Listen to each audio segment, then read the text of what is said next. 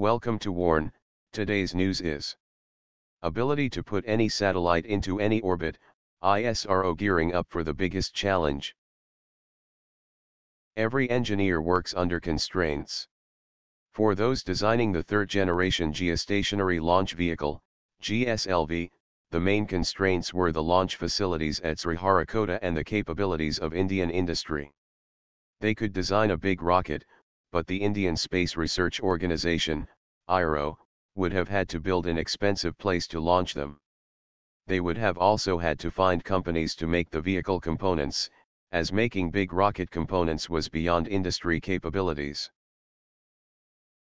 When ISRO started developing this rocket a decade and a half ago, it was far from being a thoroughbred organization. It was not of great repute, its technical skills not cutting edge and its commercial potential, negligible. The first generation GSLV had just been test flown, but its satellite had not reached its desired orbit. The GSLV Mark III was a complex vehicle and some of its critical technologies had to be developed from scratch. ISRO's cryogenic engine development had hit hurdles and got delayed beyond reasonable measure. However, by the turn of the century, ISRO had shown glimpses of its current prowess. It had learned the art of making satellites. Its Polar Satellite Launch Vehicle, PSLV, had begun to put remote sensing satellites into low Earth orbit with precision, and this vehicle was slowly acquiring a reputation for reliability. The PSLV was relatively easier game. The GSLV was a different matter altogether, requiring powerful solid motors and liquid engines in the early stages and a cryogenic engine on top. GSLV Mark III was conceived as a heavy lifter, by Indian standards, capable of putting communication satellites into a geostationary orbit, 36,000 kilometers above the Earth. A powerful cryogenic engine needed to be developed quickly. ISRO is now readying the vehicle for its first full flight at the end of this month, roughly three weeks after another flight of the current generation GSLV on May 5. ISRO has used new ideas in its design, necessitating new methods in manufacturing. Some of these ideas will be tested for the first time in a flight from Sriharikota. It would be the first flight of GSLV-3 using India's fully indigenous cryogenic engine. If successful, it would also be India's first launch vehicle qualified for human spaceflight. This vehicle is going to be at the frontier for ISRO, says G. Ayyappan, Mark III project director. It can be used for human flight as well. All of these combine to make it one of the most critical flights in ISRO's history. Although the space technology frontier has moved on, promising to keep ISRO engineers busy for a long time, GSLV Mark III is the culmination of all that ISRO initially set out to do when first set up in the 1960s. When fully ready, it would give ISRO self-reliance and the ability to put any satellite into any orbit. The current F-Light of GSLV-3 is a developmental F-Light. ISRO is planning another developmental F-Light a year later. It takes at least two F-lawless developmental fights for the vehicle to be ready for commercial use. This year, India will put two communication satellites in orbit using the French Ariane launcher. One of these satellites will weigh 5.6 tons.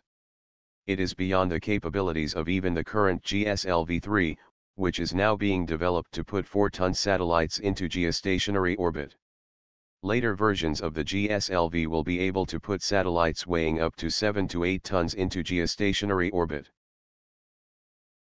ISRO had gone through a difficult period a few years ago, when a launch of its GSLV Mark II failed. This failure had its impact on GSLV Mark III as well.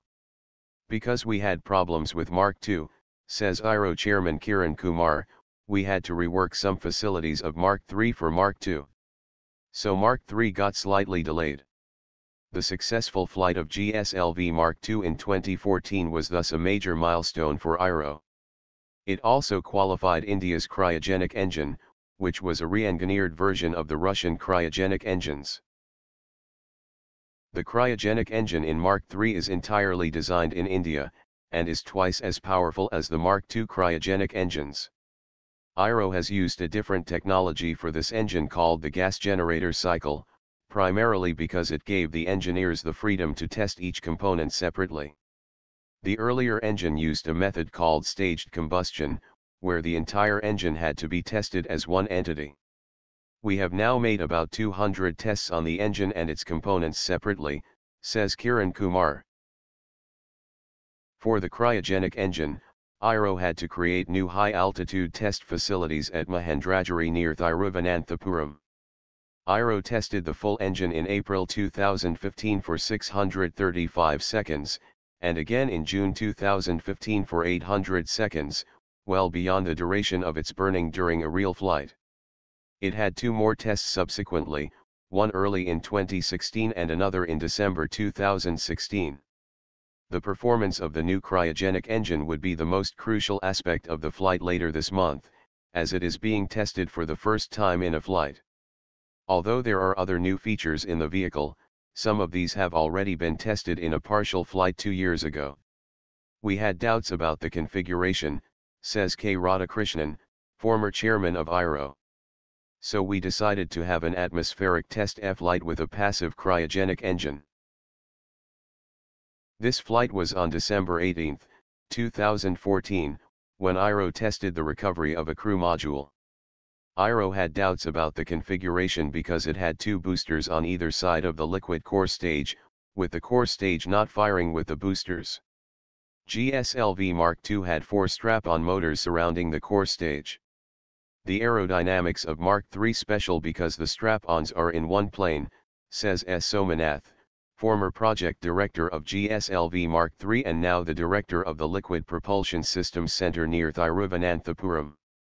The absence of strap-ons in the other plane makes the pitching and yawing maneuvers slightly different. At 3.2 meter in diameter, the strap-on motors are the third largest in the world.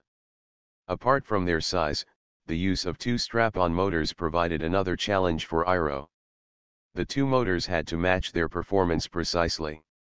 If not, one would tilt the vehicle to the other side during flight. To avoid this imbalance, ISRO made the boosters from one casting, by splitting it into two. It was ISRO's first attempt at pair casting. It was to ensure uniformity of material and uniform degradation and it needed the development of new infrastructure. GSLV Mark III has a core liquid stage with twin engines, another smaller novelty in design. The liquid engines would switch on only a 100 seconds after liftoff, but well before the strap-on motors cease firing. The launch vehicle has redundant control electronics, a requirement for any vehicle used for human flight. ISRO engineers have provided Mark III with other requirements for human flight vehicle, in terms of acceleration, noise and other safety margins. ISRO has already designed and test flown a crew module. In the end, the decision for a human flight rests with the politicians. Whether the country embarks on a human flight or not, it is necessary for ISRO to design vehicles that can carry heavier and heavier payloads. Not just for communication satellites, but for future interplanetary missions as well. The GSLV Mark III will fly this month with a 3.2-ton satellite, the GSAT, 19. The vehicle is designed to take a payload of 4 tons, but it would still not be enough for some of ISRO's future requirements. Satellites are getting heavier and heavier, says K. Sivan, director of the Vikram Sarabhai Space Center, VSSC, in Thiruvananthapuram so we have to increase the capacity of the vehicle. GSLV Mark III can be tweaked to later to carry more than 6 tons of payload into a geostationary orbit, by replacing the core liquid stage with a semi-cryogenic engine. This engine is under development, and might take 3 to 4 years.